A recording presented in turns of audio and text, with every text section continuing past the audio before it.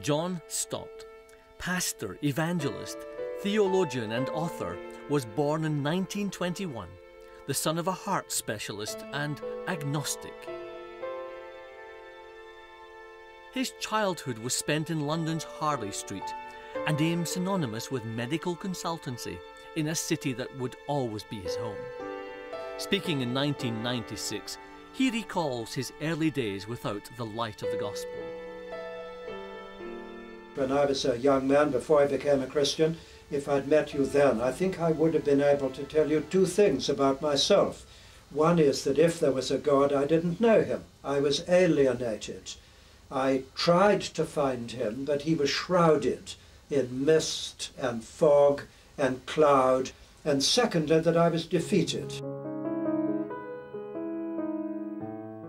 But through an encounter with a Christian working in schools, the light of salvation would enter his mind. Actually, a clergyman in the Church of England who explained to me that Christ had died in order to turn my alienation into reconciliation, and that he'd risen again and was alive in order to turn my defeat into victory.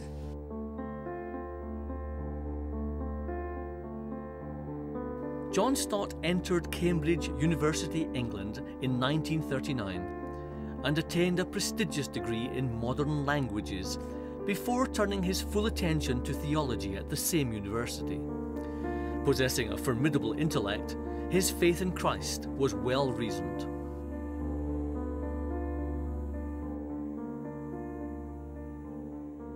How do we come to know that Jesus Christ is the truth? Well, my own answer, what has helped me most, is to see it as a combination of history on the one hand and experience on the other. If you like, the objectivity of history on the one hand and the subjectivity uh, of experience on the other.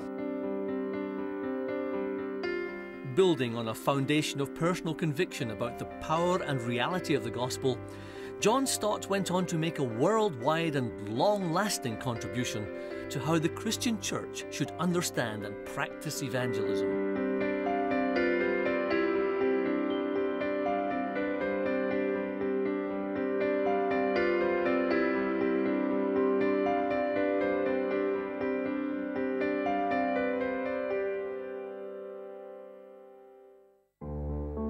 Addressing a World Congress in Berlin in 1966, John Stott emphasized that evangelism should be communicated with personal conviction. Before the church can begin to engage in evangelism, it needs an experience and an assurance of forgiveness. The greatest single reason for the church's evangelistic disobedience is to be found in the church's doubts. We are not sure whether the gospel is true. And so, because we doubt, we are dumb. Since coming to Christ, John Stott has lived out of a personal conviction that the scriptures are powerful and the gospel is true. The Bible is indispensable to true evangelism. Without the Bible, evangelists would have nothing to say nothing worth listening to, and no hope of success. The gospel is God's good news for the world.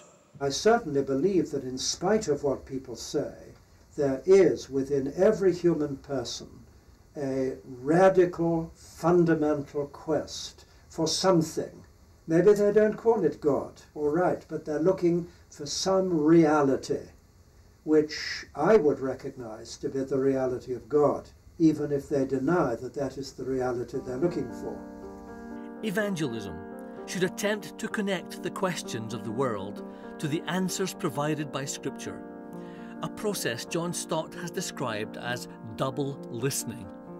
That is, listening to the Word on the one hand and listening to the world on the other because unless we listen to both of them, we can't relate the Word to the world.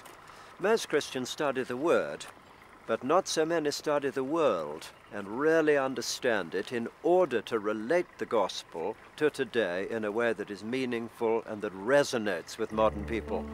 The importance of engagement with the world was boldly proclaimed by John Stott at the First Lausanne Congress in 1974. It comes more natural to us to shout the gospel at people from a distance than to involve ourselves deeply in their lives, to think ourselves into their problems and into their culture, and to feel with them in their pains. The importance of the practical dimension of faith was reiterated at Lausanne II in Manila in 1989. The proper response to the gospel is indeed faith and faith alone. That a true and living faith in Jesus includes within itself a measure of submission, and it leads inevitably into a life of obedience. John Stott's model for evangelism and the message is Christ. Jesus Christ was the first missionary, and the church's mission is derived from Christ. The gospel that comes from God focuses on Christ. The scriptures bear witness to me, he said.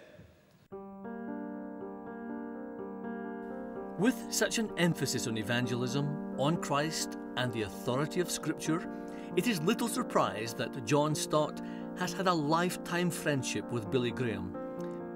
At the first Lausanne Congress on World Evangelization, Billy Graham asked John Stott to be the chief architect of the landmark Lausanne Covenant. I would like to see the Congress frame a biblical declaration on evangelism. The time has come again for the evangelical world to speak with a strong, clear voice as to the biblical definition of evangelism. People seem, on the whole, to have accepted it as a basis for uh, cooperative evangelism. The active ministry of John Stott is nearing completion, but his legacy will endure. Throughout a lifetime of ministry and service, his devotion to Scripture has been unwavering, and his challenge to the Church, similarly to be committed to it, has remained undiminished. And the church's message as originally given by Jesus has not changed. Man's greatest need, as we know it in our own hearts, is still the forgiveness of his sins and his reconciliation to God. We have this message. We must proclaim it with authority and without compromise. And I trust we can all echo the Apostle Paul's resounding affirmation I am not ashamed of the gospel of Christ because it is the power of God unto salvation to everyone who believes.